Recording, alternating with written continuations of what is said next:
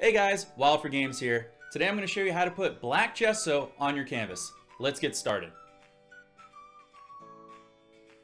Alright, let's get started. You're going to need a paper plate and your favorite black paint or gesso, and a sponge brush. Let's talk about the paints really quick.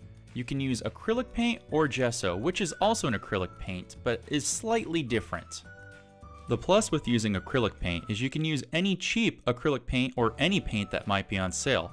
The only differences I've noticed is acrylic paint seems to have more of a glossy finish and may have warmer or colder versions of the color black in it depending on which one you purchase.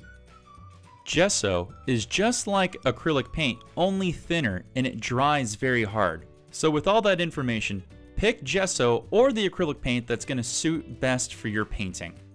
Once you're good to go, go ahead and put some black gesso in a paper plate. I already did so here take your sponge brush and just give it a nice coating on both sides. Once you're good to go, take it up here and we're gonna start to apply. This goes on nice and thick, but we're gonna paint it in nice and thin as we go.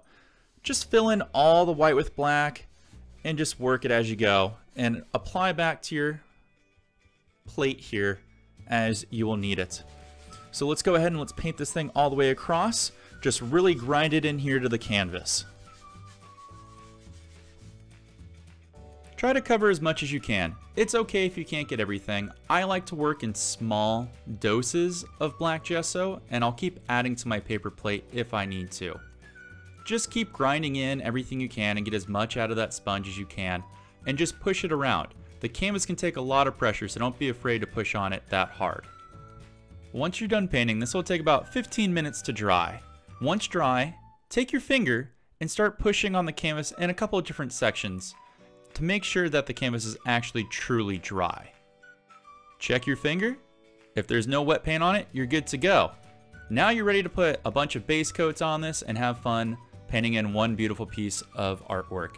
A fun little trick to do if you have multiple canvases is you can actually gesso multiple at a time.